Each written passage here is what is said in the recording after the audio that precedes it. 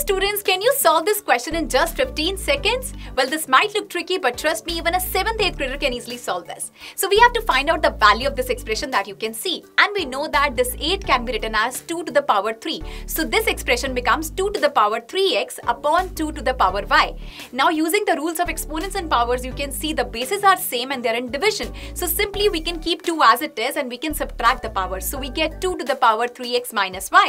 Now you already have the value of 3x minus minus y in the question, that is 12. So finally we get 2 to the power 12. And now leave a comment for me in the comment section what answer you have got.